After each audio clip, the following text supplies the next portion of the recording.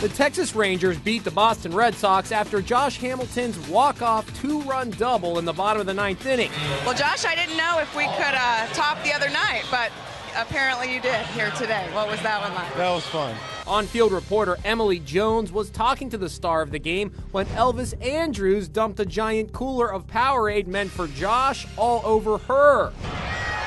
Hey.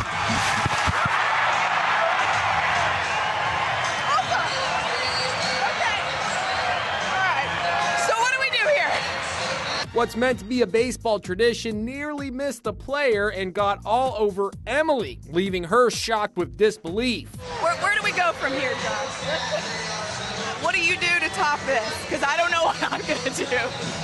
Emily tweeted, RIP this dress. You better watch your back, Elvis Andrus. Hashtag revenge will be mine. This might be one of the biggest live TV baseball goofs we've seen in a long time. Hey. Don't forget to tune in to Inside Edition.